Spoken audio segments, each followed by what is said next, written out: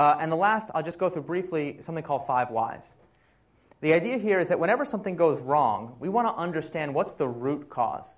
And this is a little bit frustrating, especially uh, for the more engineering types, because it means that behind every supposedly technical problem, there's actually a human problem that caused it.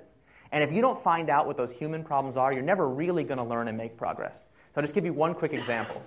Uh, some code gets checked in and it takes the site down. And you're like, huh, well, why did that happen? Uh, some engineer used this really obscure API that, you know, if it's not used properly, uh, takes the site down. It's like, oh, that's interesting.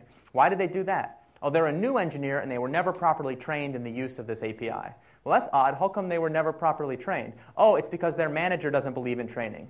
What? We thought we had a technical problem of a server going down, and we actually have a managerial problem that relates to training. My suggestion is that you do that analysis whenever something goes wrong, and then you make what we call a proportional investment at each of the five layers of the analysis.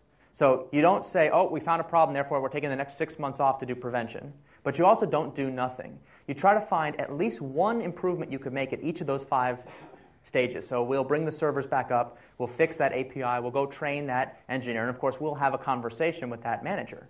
But the manager might say, "Oh, sure, I'm happy to do a new training program for new engineers. Uh, you know, uh, that'll take about eight weeks. So you know, if you don't want me to do anything else for the next eight weeks, I'll work on training."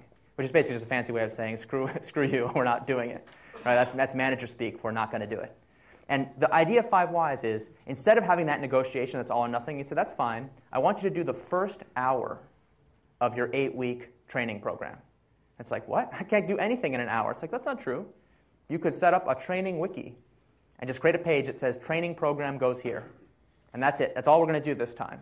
But see, the next time we have a training problem and we do five whys, we're going to notice this problem again and we're going to do another hour's work on it. And that person say, well, I'll create the training wiki. It's like, sorry, dude, that's already done.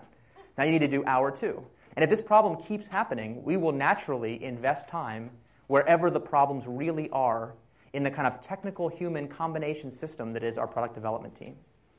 That's five whys.